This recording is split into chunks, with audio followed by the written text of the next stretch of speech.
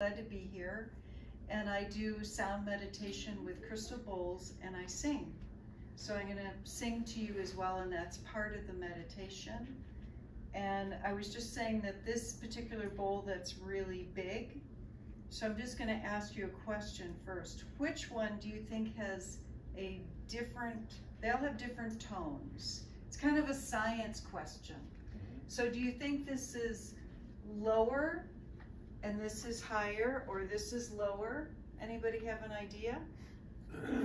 The, the left one This one? is lower. Why is that? I don't know. You're right. because of the waveforms. Mhm. Because it's all about the waveforms. So I'm just going to give you a little demo of that one so you could hear. So part of what we're going to do besides the sound meditation is just to hear the different tones and feel it in your body. So this is a, a the note is E. And so after a while it gets going. It takes a minute. I'm just using uh, friction on here with a suede covered mallet. And you're going to start to